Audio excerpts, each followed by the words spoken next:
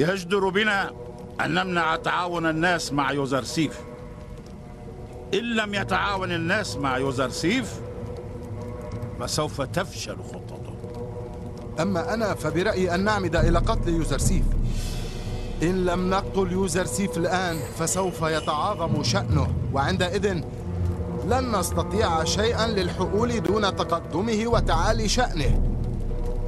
أظنكم تضخمون الأمور. يجب ألا تبنوا النتائج على تعبير رؤية.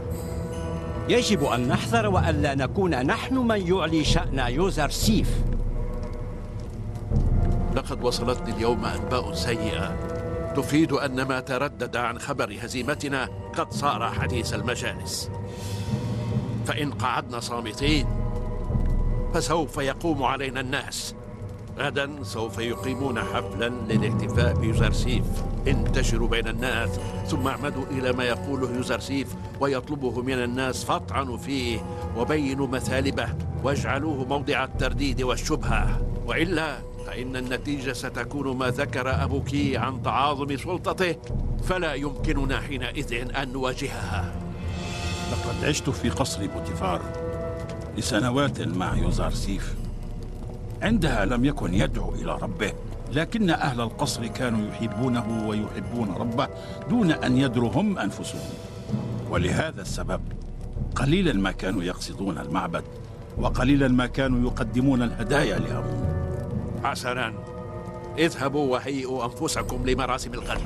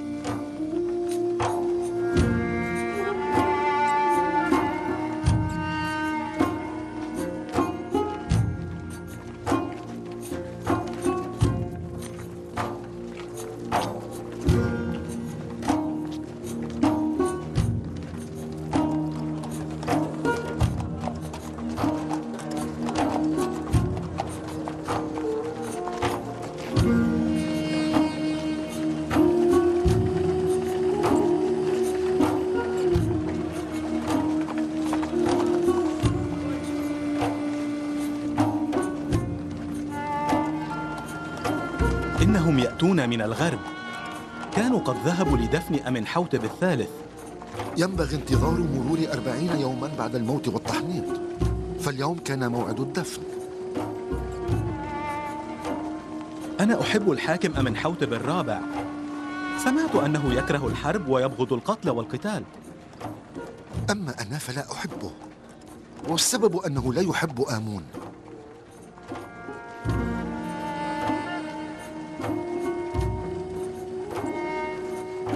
حوتب شديد الرأفة ورحيم القلب. يقولون أنه يحب الفقراء والمحتاجين.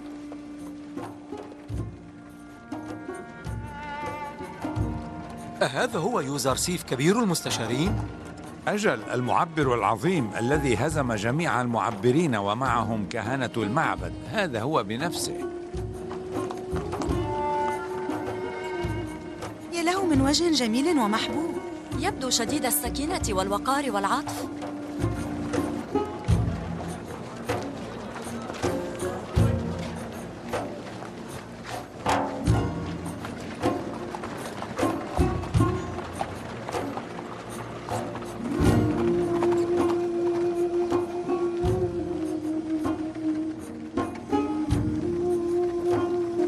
يوسف. اسكت أيها الأبلة. يجب التزام الصمت عند مرور موكب أمنحوتب أنا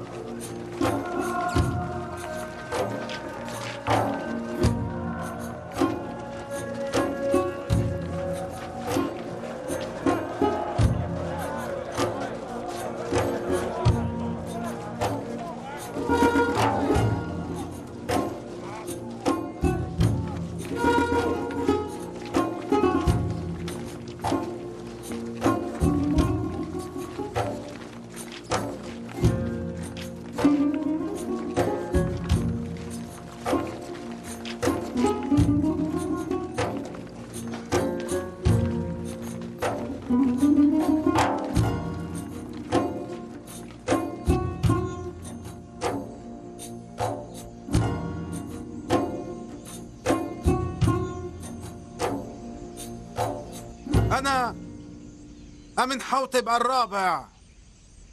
حاكم مصر العظيم. أعين يوزرسيف الحكيم الآخذ بمجامع علم تأويل الرؤيا. أجعله كبير المستشارين. ورئيسا لأمور الزراعة. وكذلك سوف يحظى اليوم أيضا بشرف ارتقائه أعلى مقام في مصر. وأقصد بالتحديد المقام الذهبي.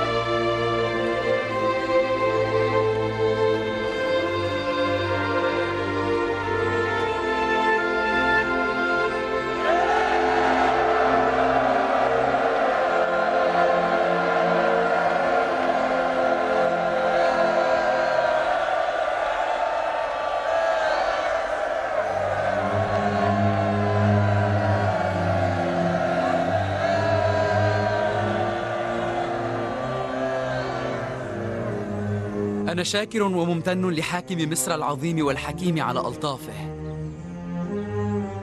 الآن وأثناء قيام جناب الحاكم بمنح المقام الذهبي خطرت على بالي ذكرى تعود للأيام الخوالي. فعندما كنت في قصر بوتيفار كانت كلماما نديمة السيدة زليخة كانت كلما أرادت أن تظهرني وضيعا بائسا قليل الشأن تلقبني براعي الأغنام المتجول في القفار.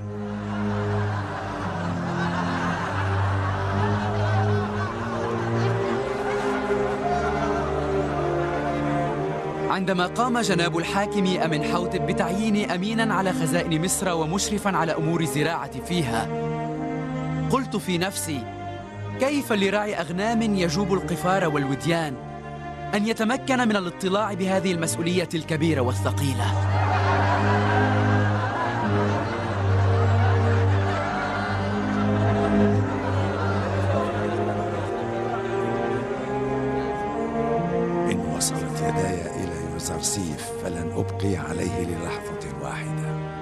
اسمحوا لي أن أحدثكم بالطريقة التي تعلمتها وعادة ما أحبذ أن أتحدث بها. أنا لا أعتبر نفسي سوى خادم متواضع لأهل مصر ولا أعتبر نفسي أعظم منهم ولا تاجا على رؤوسهم. أريد منكم يا أهل مصر أن تعينوني لكي أتمكن بمساعدتكم من القيام بواجب خدمتكم على أفضل وأحسن وجه. لقد علمتم بطريقة أو بأخرى أن مصر مقبلة على سبع سنوات من القحط وإمساك السماء وسبع سنوات من فيض السماء ووفور النعمة. وأنا اليوم أتعهد لكم أنكم إن نثرتم البذور على الصخور فسوف تنمو السنابل الملأة فانثروا البذور. فانثروا البذور ما استطعتم والبدار البدار. المزارعون الأكثر زراعة والذين يجلبون الغلة الأوفر إلى مخازن الدولة سوف يصبحون مع مرور الزمان أصحاب أرض يزرعونها لأنفسهم. أنا أعلم أن كل أملاك مصر تابعة لجناب الحاكم لكنني على موعد معكم للتحدث بهذا. وما أدرانا أنكم إن جمعتم الحنطة لن تبيعوها للناس بثمن أغلى. بيع الحنطة وشراؤها وجمعها وتخزينها. كل ذلك سوف يقوم به أناس يتم انتخابهم من قبلكم أنتم. أما موظفو الدولة فإنهم يتولون الإشراف فقط. تأخذون من الحنطة مقدار ما تحتاجونه لسنتكم وما تحتاجونه من البذور للسنة التالية. وما فاض عن ذلك تسلمونه للدولة. إن كنتم حكاما قديرين وجديرين بالحكم لأخذتم القرارات الحازمة. وما على الناس عندها إلا أن يطيعوكم. إن طلع الناس على قرارات الدولة فسوف يكونون مددا لها في تنفيذ مشاريعها. وإن لم يعلموا بما يجري فلن يبالوا ويكترثوا. أجاب على سؤالك. إن كان بمقدورنا ادخار ما زرعناه فلما نسلمه في لكم؟ القريب العاجل سوف نقوم بتهيئة الوسائل التي من شأنها تسهيل ادخار القمح. طبعا يمكن لمن شاء أن يدخر ما حصده من الحنطة بنفسه. لكن فليعلم أنه إن فسدت عليه حنطته لأي سبب كان فلا حنطة له عند حكومة مصر. إنما نعطي الحنطة فقط لمن ادخر عندنا حنطته. ولتعلموا أن المزارعين بادخارهم الحنطة لدى الدولة فسوف يصبحون حكما من ملكي الأراضي الزراعية. فضلا عن ضمان نجاتهم من الهلاك في سني القحط.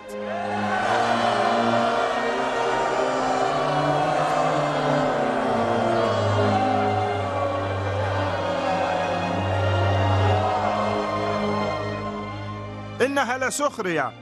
كيف للناس أن يجمعوا الحنطة من أرجاء مصر ثم يسلموها لكم في طيبة؟ لتسهيل عملية النقل سنقوم ببناء العنابر في كل مدينة. فتخزن كل مدينة حنطتها في عنابرها فلا يشقى الناس سواء في نقل محصولهم أو في استلام حصصهم. يبدو كأنه سمع كلامك. لقد فكرنا في تدابير عدة. من شأنها المساعدة في مواجهة القحط وسوف نطلع عامة الناس عليها فيما بعد.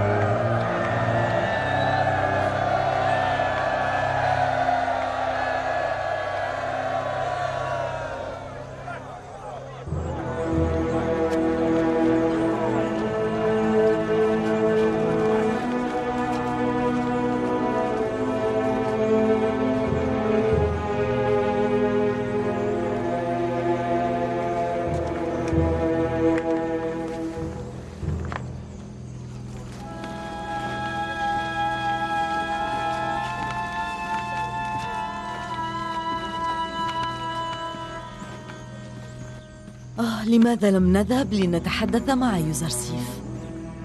أولا لم يكونوا ليأذنوا ثانيا لا أظن أن يوزرسيف لديه الرغبة في الحديث إليك فضلا عن ذلك ماذا كنت ستقولين له؟ هل كنت لتخبريه أنك تكنين له حبا أم أردت تبرير زجه في السجن لسنوات؟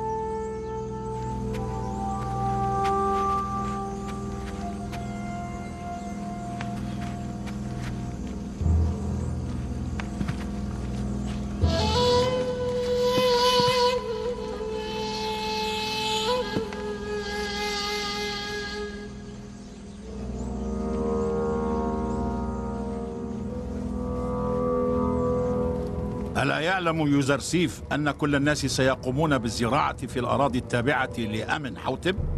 يوزرسيف شاب بلا تجربة. وهو بهذا إنما يبث الضعف في أسس دولة مصر. بعد مرور بضع سنوات من توزيع أملاك الحكومة على الناس سيصبح حاكم مصر ضعيفا لا سند له. بينما كل الثروات والأملاك الزراعية لمعبد آمون ما زالت على عهدها لم تمس.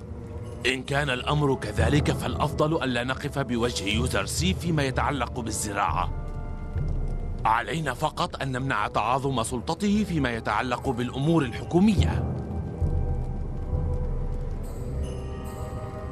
إن عملنا بفطنة ودهاء يمكن لنا أن نؤسس لسقوط يوزرسيف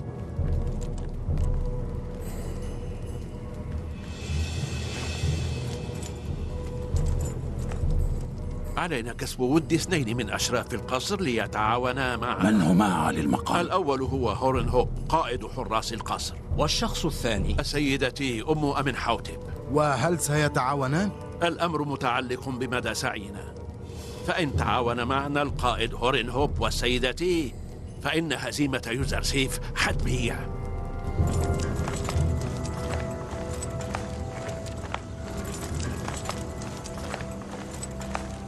بناروس تحية الآلهة عليك يا بنا ماذا تفعلون هنا؟ لقد تحررنا. تحررنا. جناب يوزرسيف سعى في حسنا علمت. بذلك علمت بذلك. أعلم أنكم تحررتم. إذا فقد جئتم للقاء يوزرسيف أجل. أجل, أجل. اسمعوني. لا تقلقوا. انتظروا هنا ريثما أعود إليكم. اتفقنا؟ حسناً. انتظروا. حسنا. ولكن أين أنت؟ جناب يوزرسيف يبحث عنك في كل مكان. يبحث عني أنا؟ أجل ألست مالك؟ بلى بلى أنا هو مالك مالك بن زعر لا عليك والآن انتظرني هنا بجنبهم سأعود قريبا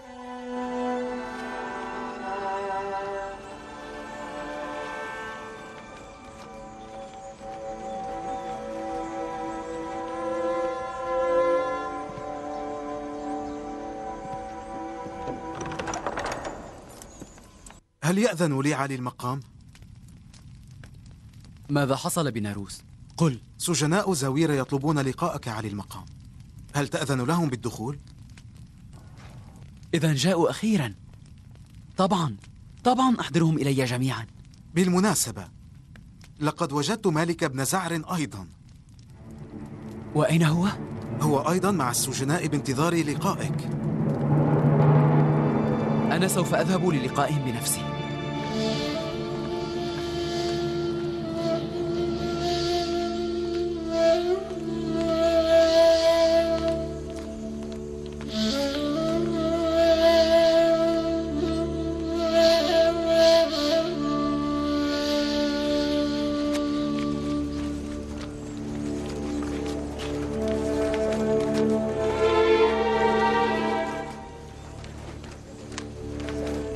أنتم ماذا تفعلون هنا؟ يحيى يوزر يحيى يحيى يوزرسيف يحيى يوزرسيف سلام الله عليك. نحن شاكرون لك لسعيك في خلاصنا. جميلا أنت يا نبي الله. كم اشتقت إليك؟ كم اشتقنا إليك يا نبي الله.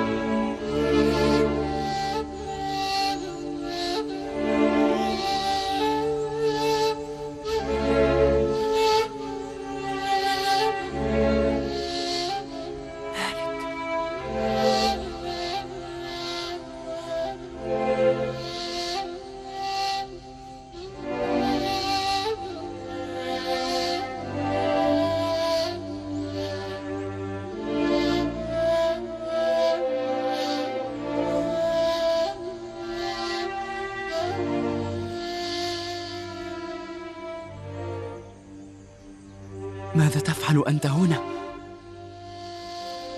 ولما أنت بهذه الحال؟ أجل هذا أنا يا نبي الله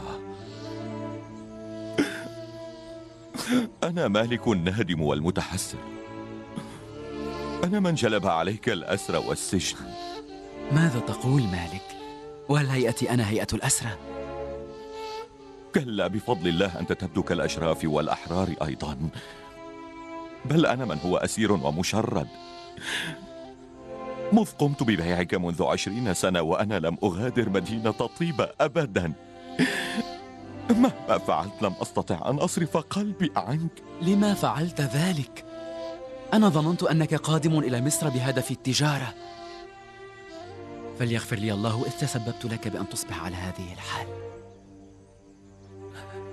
لكني ما زلت أشعر بالندم في نفسي كوني قد قمت ببيع نبي الله. لكن تلك الصفقة لم تكن بهذا السوء. أنت قمت ببيع يوسف ونلت محبة يوسف وإنما أنا وقعت في الأسر لكي أصل إلى الصدارة.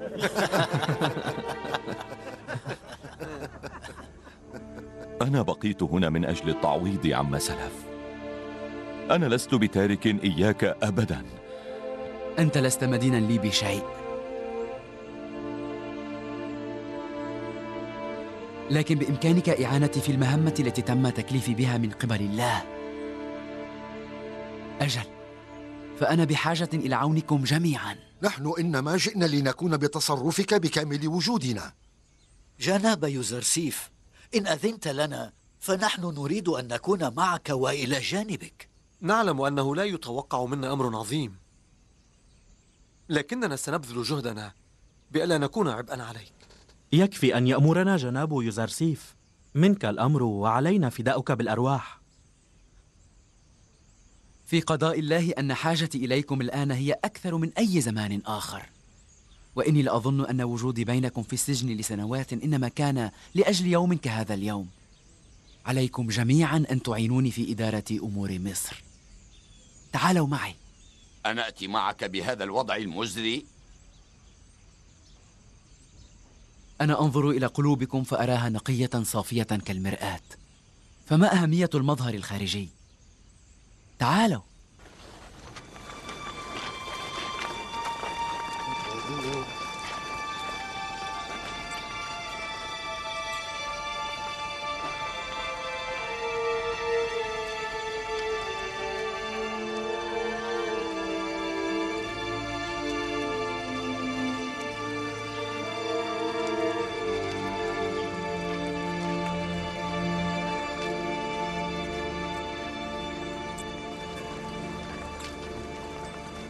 أي ناس صار يؤوي قصر أمن حوتب؟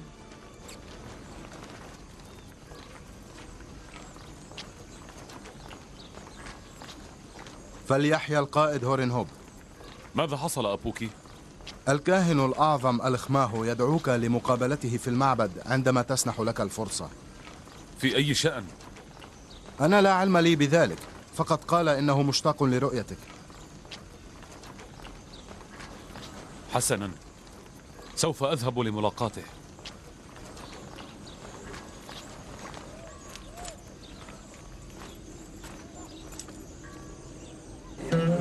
أنا سعيد كونك قمت شكرا جزيلا لك يوزرسيف شكرا لك لساننا عاجز عن نشكرك لإنقاذك لنا أنا أيضا. سعيد جدا لرؤيتكم خارج السجن. ونحن أيضا. يسعدنا ذلك. جناب يوزرسيف نيميسابو يستأذن بالدخول عليك. فليدخل. سيدي السيدة زليخة أعتقت رقبتي. ماذا حصل؟ السيدة زليخة أعتقت رقبتي. يا للعجب السيدة زليخة تعرف كيف تعتق الرقاب وعملها ليس محصورا بالقيود والسجون. أسأل الله أن يفك أسرها من سجن نفسها. قامت بإقحام الكثيرين في البلاء. واستخفت بحرمتهم من أجل الوصول إلى رغباتها. المسكين المسكين جناب بوتيفار. لقد قاسى العذاب وعانى الألم. جناب يوزرسيف ألا تريد أن تعاقب زليخة وبوتيفار؟ يجب عليك أن تنتقم منهما. يجب أن يتم عقابهما. أنا صفحت عنهما وليصفح الله عنهما. لا أريد أن يرياني فحسب. أقصد أنني لا أريد أن أشاهد الخجل في عيونهما. بناروس علي المقام. عليك بتحسين هيئة أصحابنا ثم أحضرهم إلي. كما تريد. رافقوا بناروس أنا بانتظاركم هنا. تعالوا معي. نراك شكرا لاحقا لك. شكرا لك.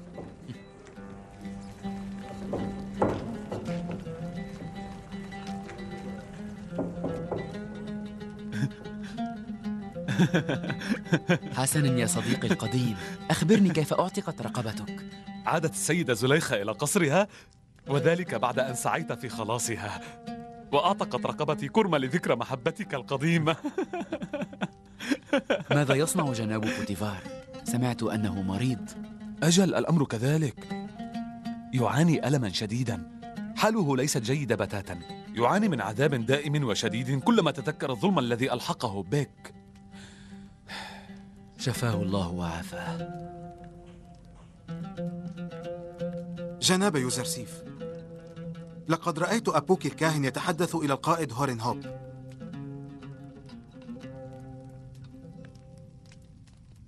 ما الذي يفعله أبوك الكاهن في قصر الحاكم أمن حوتب؟ أخشى أنهم يحاولون ترغيبه. تردده في القصر يشكل خطرا وسينقل أسرار القصر إلى كهنة المعبد. برأيي أنه لم يعد يشكل خطرا بعد أن اكتشفنا أمره. ويمكن لنا من خلاله أن نكتشف عيون المعبد في القصر. عليكم فقط أن تراقبوه. كما تريد علي المقام. من الآن وصاعدا لا تركع لي. لقد اعتدت ذلك علي المقام. تخلى عن هذه العادة. حاضر سيدي.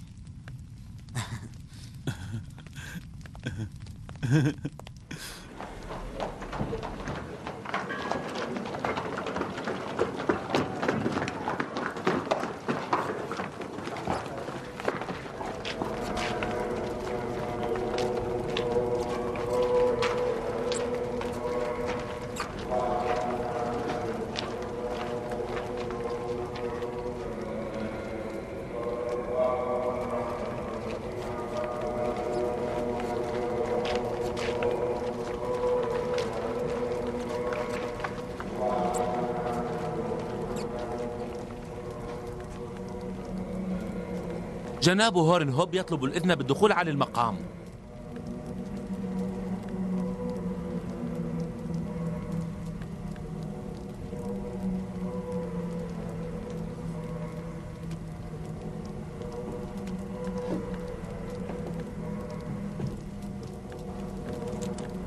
قولوا له ليدخل الآن.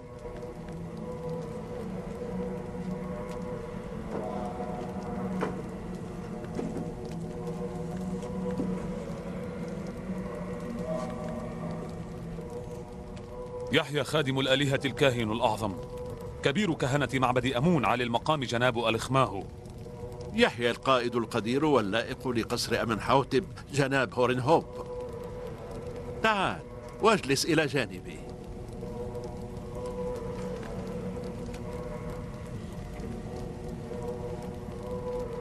أخبرني الكاهن أبوك أنكم طلبتم مقابلتي وأنا أطعت أمركم. شكرا جزيلا لك. لقد أسعدتني. ثمة أمر يشغل بالي منذ مدة.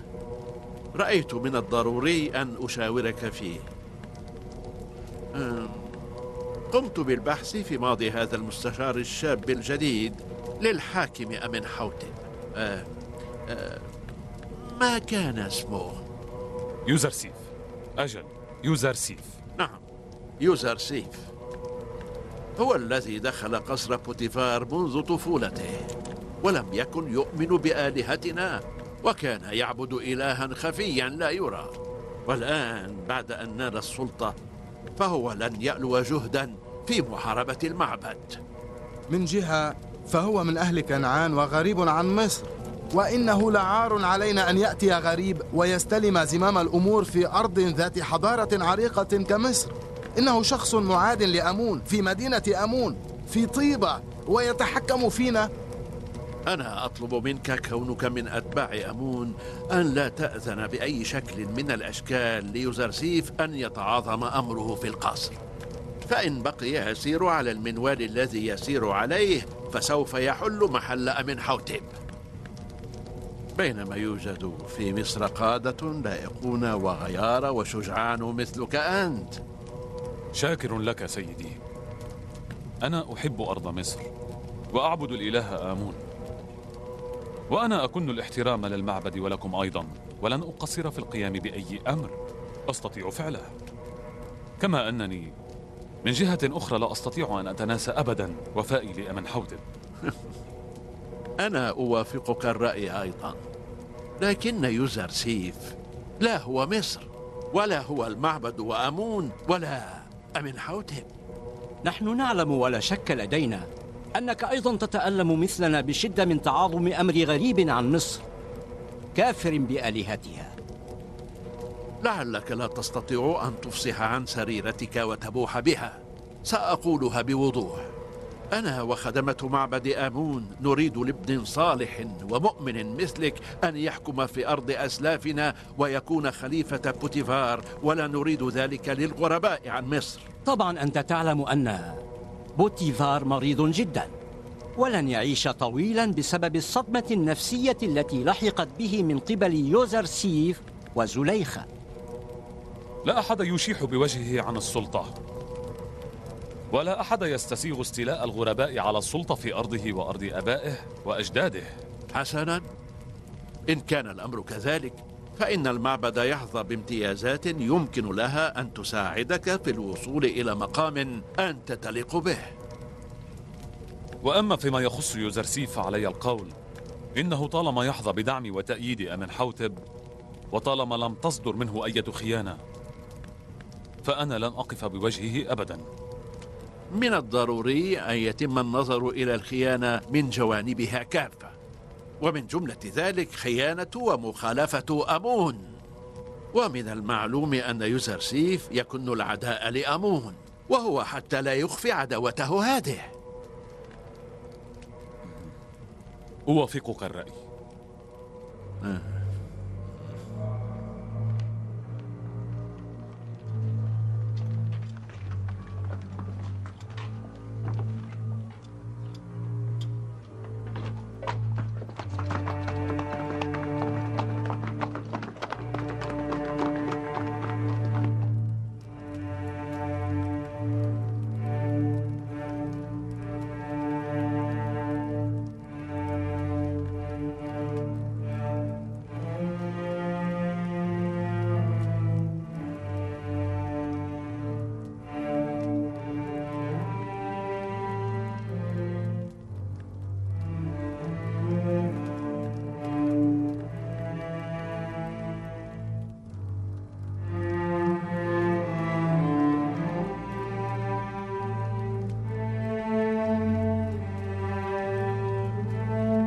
حال عالي الجناب بوتيفار ليست جيدة. أنذرته سابقا أن الغضب والانفعال لا يلائمان حاله أبدا. لكن وللأسف عرض نفسه لذلك مرارا. عليه أن يحظى ببعض الهدوء وأن يلتزم بأخذ كل الأدوية التي وصفتها له.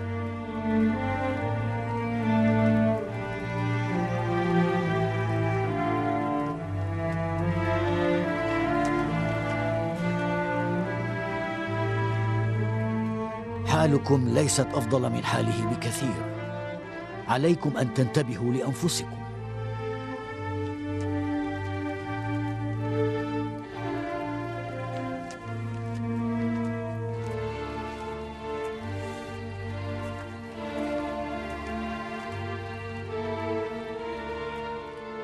عليكم تأمين الأدوية التي أوصى بها سينوهيل لجناب بوتيفار. وإبقاء القصر في حالة من الهدوء التام. لا شيء يؤذي قلبي بمقدار ما أنت أذيته. أنعم بالهدوء عندما لا تكونين هنا.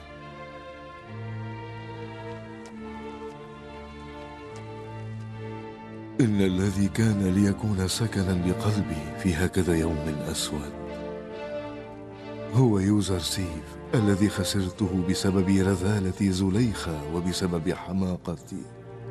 والآن علي أن أفارق الحياة وأتوجه إلى الغرب غريبا وحيدا.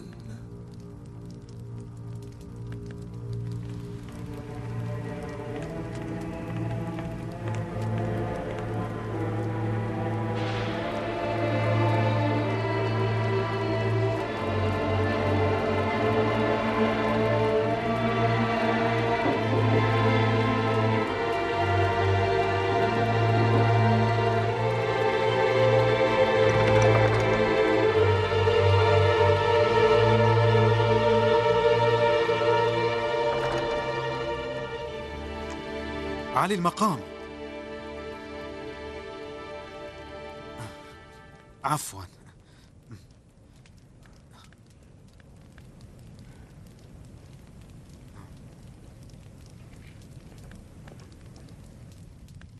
السيدة هي التالية علي المقام.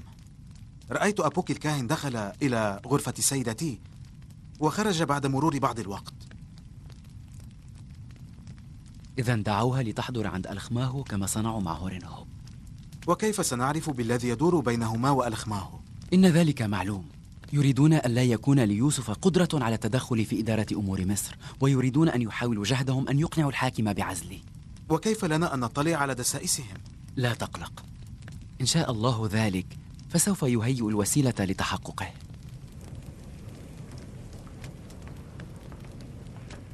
عالي المقام. أصدقاؤكم يستأذنون في الدخول.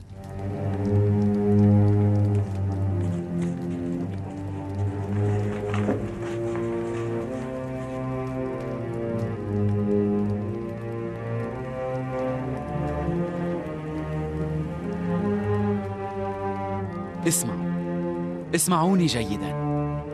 هناك عدة أمور مهمة عليكم أن تقوموا بها. الأول أن تعلموا أن علاقتكم ستكون مع مع جناب مالك الذي هو شخص عالم وذو تجربة وخبرة. وصلة الوصل بيني وبينكم ستكون من الآن مالك ونيميسابو كما يجب أن تعلموا أيضا أننا في مواجهة كبيرة مع كهنة معبد آمون وهم يريدون أن يقضوا علينا. إن لم نكن حذرين فإن العدو سوف يتمكن من أذيتنا. أول ما عليكم القيام به هو أن تنشروا في كل مكان قصة هزيمة كهنة معبد آمون في تفسير الرؤيا أمن حوتب وغلبة الله الواحد على سائر آلهة مصر. فكثير من الناس ليسوا على علم بالقضية وهذه المعرفة منهم من شأنها أن تزلزل إيمان الناس بأمون والمعابد. المسألة التالية هي أنه ليس لي غيركم أتباع أمنون وموضع ثقة. لذا كونوا سمعي وبصري. في مراقبة ادخار الحنطة من قبل أصحاب الطمع وفي مراقبة النشاطات المعادية للكهنة وأطلعوني على ذلك ليتم رد الفعل اللازم في حينه. ثالثاً نحن نحتاج إلى كم هائل من البذور لتنفيذ خطتنا الزراعية. وظيفتكم يا أصدقائي هي أن تستطلعوا كمية الحنطة الموجودة في مصر وتخبروني عن مقدارها. وفيما يأتي من الأيام ستتحملون مسؤوليات أثقل من هذه أخبركم عنها فيما بعد. بناروس نيميسابو. أصدقاؤنا متعبون ويحتاجون إلى مكان يستريحون فيه. هيئا لهم مكانا. حفظكم الله.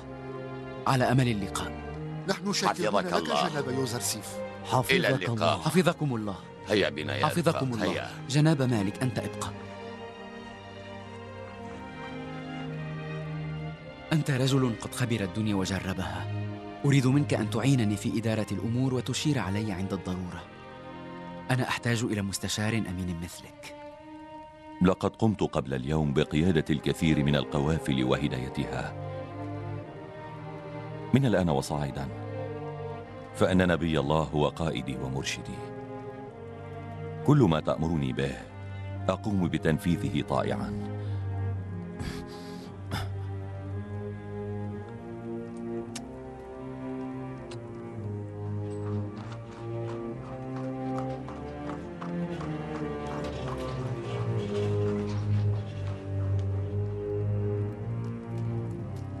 لقد أثبتتم في عهد أمن حوتب الراحل أنكم لا تتوانون عن فعل أي شيء في سبيل الوصول إلى غايتكم.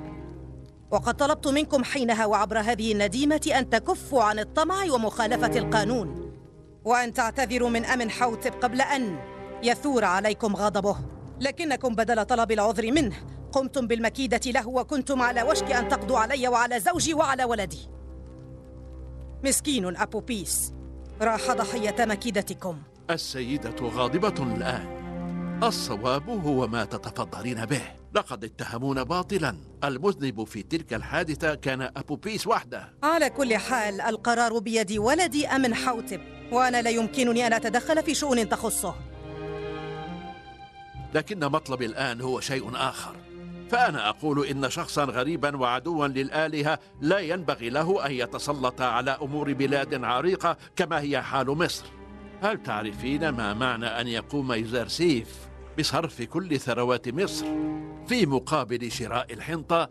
هذا يعني يعني أننا سوف نصبح دولة فقيرة جدا لا ناصر لها ولا معين وسوف تصبح لقمة سائغة مقابل هجوم جيرانها.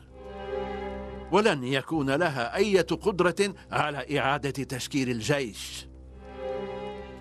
هل تعلمين لن يستفيد من ادخار الحنطة إلا حفنة صغيرة من أصحاب الثروات المتمكنين وذوي المال الوفير.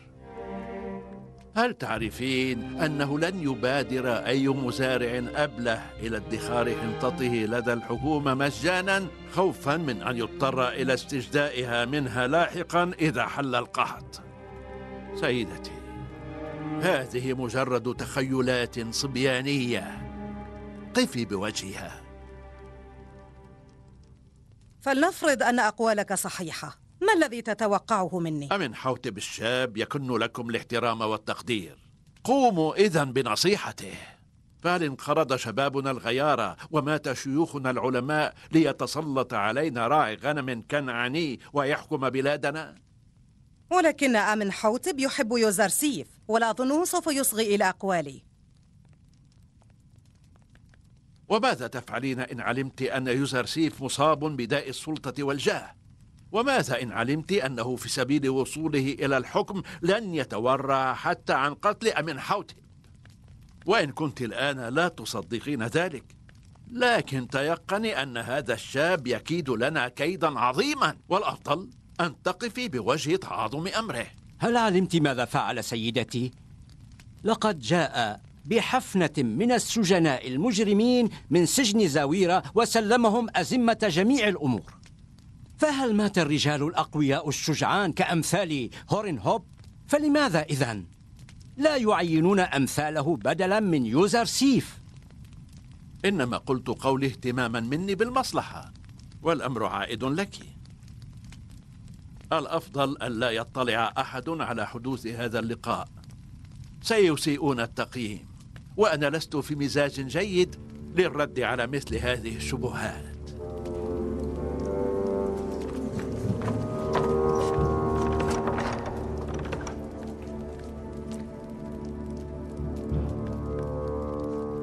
لم أعد أعلم من هو الخادم هنا ومن هو الخائن. سوف أكلم أمن حوتب عندما أعود. على كل حال لا ينبغي لغريب أن يكون مسلطا على مقدرات مصر.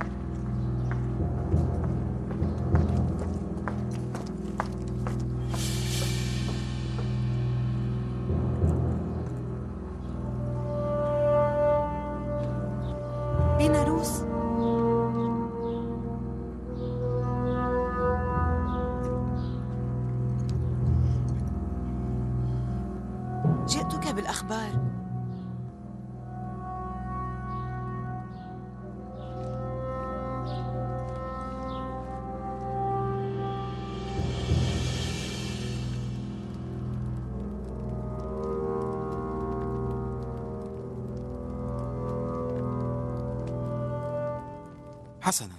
والآن قل لي ماذا حصل؟ لقد جاء اليوم الإخماه لمقابلة سيدتي وأراد منها أن تقف بوجه تعاظم أمر يوزرزيف وتقدمه هل قبلت السيدة؟ لقد ذهبت الآن لمقابلة الحاكم أمن حوتب. لتطلب منه أن يقوم بعزل جناب يوزرسيف أظن ذلك. بل أنا واثقة بأنها تنوي أن تفعل أمرا كهذا. حسنا. اذهبي. ثقي أني سوف أطلع جناب يوزرسيف على ذلك. اذهبي قبل أن يراك أحد.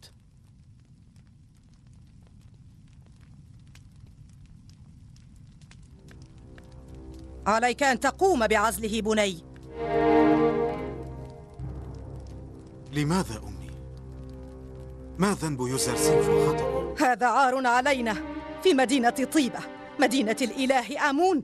أن يصل عدو آمون إلى السلطة. في المدينة التي يعبد فيها الناس الإله آمون من صميم قلوبهم وبكل محبة وإخلاص.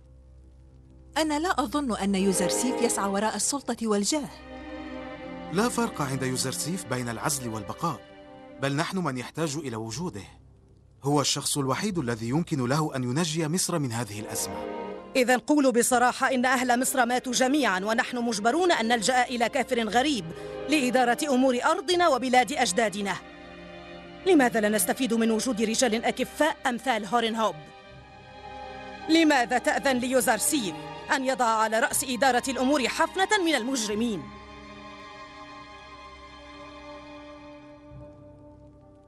أنا أيضا معجب بهورن هوب ومطلع عن كثب على قدراته لكل مقام مقال ولكل امرئ مهمة بالمناسبة سجناء زويرة قد صلحت أحوالهم على مر السنين بفضل يوزرسيف ولم يعودوا كما في السابق. هؤلاء السجناء نادمون على خطاياهم الماضية وهم الآن مدراء جديرون ولائقون. أنا قد أدركت زمن حكم أبيك وعايشت أمور الحكم في مصر لسنوات عديدة. ما أقوله؟ إنما هو من أجل مصلحة مصر ومصلحتك. هو يقوم بإهدار ثرواتك ومدخراتك. هل تعرف أن إفراغ خزانة مصر من الأموال لشراء الحنطة؟ سوف يضر بمصر وبأهلها أيضا. هل تعرف كم سيضر بك ويضاعفك توزيع بساتينك على المزارعين وكيف أن ذلك سيؤدي إلى إهدار كل ثروتك ورأس مالك؟ قلقك في محله. إن لم يكن لدى يوزرسيف جواب شاف على التساؤلات التي عرضتها أمي فيجب أن يعزل. عليه أن يقدم جوابا مقنعا وشافيا. أنا أعدك بذلك. أنا قلت لك كل ما عندي. الأمر عائد لك. ولكن فلتعلم أنه من أجل بلوغ مقام الحاكم يمكن له أن يدبر مكيدة لكي يقتلك. ومن ذا يا ترى قد تنبأ بذلك؟ هذا ليس رأيي وحدي. كهنة المعبد أيضا على هذا الرأي.